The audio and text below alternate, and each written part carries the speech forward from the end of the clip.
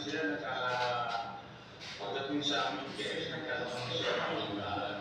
So, parang sa internet, hindi naman makakasa sa system. All right, good morning to one and all, everybody. Kumusta po kayo? All right, ladies and gentlemen, good morning. Welcome po sa ating programa ngayon. We are in Beyond Politics. Hindi po ito Ryan's Belt, ha? Beyond Politics ito. Ako po si Ryan Perez Mundum, filling in for Sir Johnny Gomez. Alright, so dito po sa Beyond Politics, meron po tayong mga special guests today. They are from the city of Manila. And uh, topping the list of the people we'll be talking today, talking, speaking with today, nandito po si uh, Mayora, basically uh, mayoral candidate for Manila, none other than Ma'am Mara Tamondong. Kamusta po kayo, ma'am? Magandang magandang umaga po sa ating mga televiewers. Yes, uh, as, as, as we were saying, uh, ma'am, kamusta po kayo ngayon, ma'am? Ah, ito okay naman po. Magandang magandang umaga muli sa ating mga televiewers. Ako talagang very excited po ako today dahil makakapiling ko po ang mga bagong ah, makakasama ko po sa ating advocacy sa Maynila. Ayun, alright. Um, so, I understand, uh, dito sa ating uh, dito sa ating studio, kasama po natin ang maraming ibang uh, kasama niyo sa team. Ano? Nandito rin yung mga ko- uh, ninyo. Yes, tama po. Eksakto. Ah, kasama natin mamaya ang ating Vice Mayor at yung ating mga konsehal from Manila po ng iba't ibang distrito. That's great. Alright, so um, I'm, I'm just wondering, no, uh, paano po kayo napasok sa politika? No? How you get into politics? Oo, ano ko, actually medyo mahabang mahabang kwento, pero ang pinaka-bottom line lang is dahil ako po ipinanganak at lumaki ng San Andres Bukid, Maynila, na kung saan, mula sa ninuno, sa lolo at lola, sa magulang talagang taga Maynila na po ako. So dito, naumpisahan ko po yung damdamin ko bilang isang Manileño, na pag Manileño ka, may concern ka.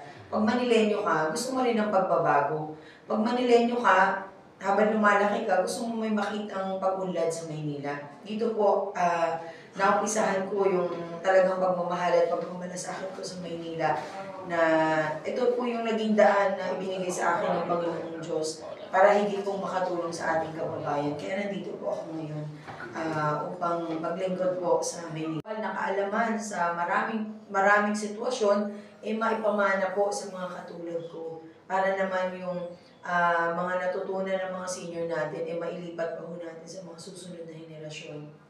Okay, very interesting, ano? Um, nagre-react din, din, ako, din ako dito sa nasabi ko kanina about yung mga uh, recreation centers para Yes, sa mga oo. senior citizens. Dahil, syempre ako, uh, alam ng maraming uh, tagapakinig natin na ako'y naging uh, long time OFW sa Singapore. Mm. At uh, doon sa Singapore, ganun yung nangyayari. Marami po silang mga ganung lugar para sa Para mga sa- senior citizens. Wow. So, magandang programa po yan. Proven po na magandang ano yan. uh, wow, talaga po. ano talaga, um, number one, doon sa Singapore, no, nangyayari, ah, marami sa mga, sa mga senior citizens ay nagtatrabaho pa rin, not for the sake of making money, kasi may Oo. kinikita na sila eh, Yes. but to keep themselves busy. busy, correct. Nangyayari, marami dyan sa Singapore, yung Oo. ah, sa McDonald's pa rin nagtatrabaho. nga eh. Parang Pero, hindi naman nila kailangan talaga magtrabaho. Mm-mm. Gusto lang talaga nilang meron silang ginagawa. ginagawa. Oo, actually, lalo na yung mga senior natin, nung unang panahon, napakasipag. Oo. Like 4 a.m. pa lang, ang lola ko nagluluto na yan. So, namulatan ako na ang mga senior, ang laki po ng parte sa ating pamilya. Exactly. Kaya dapat, sila rin yung mga tao na dapat tulungan natin pabalik. Hindi porket naging senior citizen ka na, parang wala ka ng silbi, wala ka Exactly. ng may tutulong. Pero ang intelligence mo ng isang tao na katulad mo natin, ay nagaling po sa mga senior citizen na dapat talagang balikan din po natin ng tamang programa at pagmamahal bilang pasasalamat sa kanilang mga kontribusyon na naibigay. So katulad nga po ng nabanggit ninyo, yung sa Singapore, yung mga senior citizen, dito po kasi sa Maynila, ang mga senior citizen, makikita mo sa lahat ng kanto ng poste na kung saan nagbi-meeting lang sila, nagsusumba sila kahit saan. Parang doon na naramdaman ko, wala silang sariling tahanan. Mm. Maraming senior citizen po sa atin ang wala pong sariling lugar sa Maynila. Karamihan po sa kanila, nakikitira lang sa kamag-anak. So sabi ko, hindi pwede yung ganito. kailangan meron talagang tunay na pagbabago sa Maynila. Lalo na sa mga magulang na nagpakahirap po sa atin makarating dito ngayon. Ayun, okay. Um, maganda yun eh, yung, ah, yung basically preserving the ano the legacy of the uh, senior, Senior citizens, citizen. no?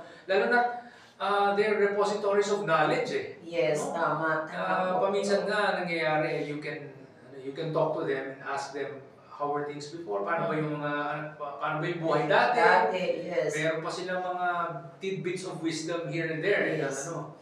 Um, I, I understand, meron pa kayong mga maraming ibang mga proyekto. Ano? Uh, would you be able to tell us more about some Ah, of those? syempre sa Maynila po, alam naman natin ang Maynila ay premier city. Mhm. kung saan maraming maraming ah, historical places. Bukod po dyan, yung mga tao po na Manileño, gusto pa nila sana ma-explore ang Maynila. Ibig sabihin, sana po yung turismo sa Maynila ay talaga namang mapansin. Kasi nga, sa dami rin po ng ah, pinagdaanan ng Maynila na nakabangon sa ngayon, yung, yung naranasan po ng Manileño na kahirapan, eh, hindi lang po kahirapan sa kagutuman, pero kahirapan sa programa, sa tahanan, yung pagmamahal po na sana maibigay ng local government. Isa po sa aking mga nais tutukan, yung mga mag-aaral na sila po ay matulungan sa kanilang pag-aaral, lalo na po yung talagang nagpupursige na mag-aaral, na minsan kaya hindi lang nag-aaral dahil napipilitang magtrabaho.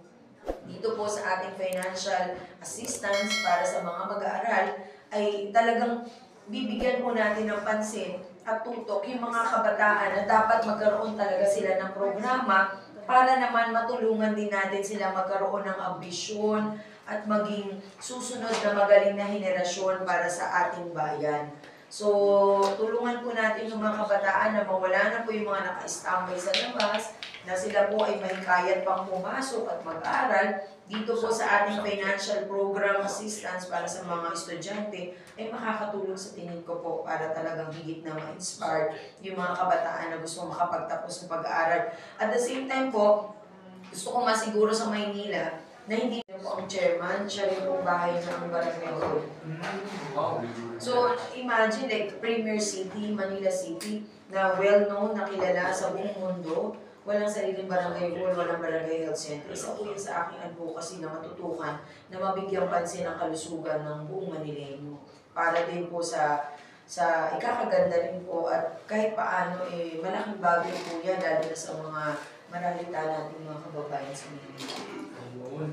Importante nga talaga yung uh, nasabi nyo kanina yung tungkol sa ano, yung ah, preservation of the historical sites natin. Ano? Yes. Kasi ako recently napunta rin ako dun sa may ah, Intramuros. Mm-mm. Tapos, ah, syempre, meron mga lugar dun sa Intramuros na talaga magaganda. Meron din mga lugar dun na parang sobrang sikip na medyo magulo ng konti. Oo. Tapos, ang daming mga yung spaghetti, ano, yung tawag dyan, yung, ah, yung mga wires natin, Oo, yung mga wiring. no, na parang nasisira yung view. Pag mga anak at